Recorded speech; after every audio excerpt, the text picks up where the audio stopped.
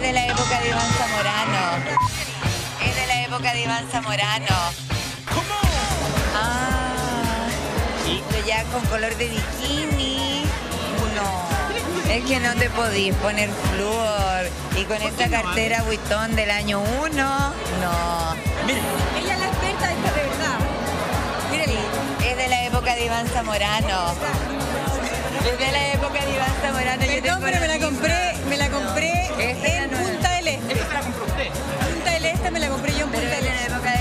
porque ahora el cierre Vuitton es así. ¿Qué parece el palito que le tiraron? Pero ese sí, po, ¿qué palito me tiró a mí? El palito que tiré yo a ella. Que es de la época de Zamorano. Todavía usa las carteras de Bam Bam. Me encanta, me encanta. Yo la quiero mucho a ella, pero su cartera sí se la compró Iván Zamorano. Sí. Y se nota que es de la época de Iván Zamorano porque es el modelo de Iván Zamorano. Entonces cuando ella me trae este modelo, es un modelo de la época de Iván Zamorano. Bien plantado quedó, pero la cartera quedó. Bien plantado quedó, pero la cartera quedó. De que la cartera está, está. Pero es de esa época. Usted venía pero recargada por Leona. Hace tiempo que no veíamos ahí tan... No, pero es que estamos hablando de moda. Mira, Daniela te puede contar, por ejemplo, Bien. Oye, Dani, ¿sabes que tenemos una discusión acá con dos expertas de moda? Mira, la chiquilla me acaba de decir acá la leona que esa cartera que está ahí, que es la cartera de Querita La Raíz, es de la época de Iván Zamorano, 10 años atrás, que ya no se hace ese modelo. ¿Usted está de acuerdo? Sí, pues esa lona ya no se puede. Es que la Adri está más de Louis Vuitton yo. Ay, pero qué- Usted tiene hasta zapatos, pues No, no, humilde. de verdad a mí me gustan más otras marcas. Ya. La cartera, Chanel, Mira.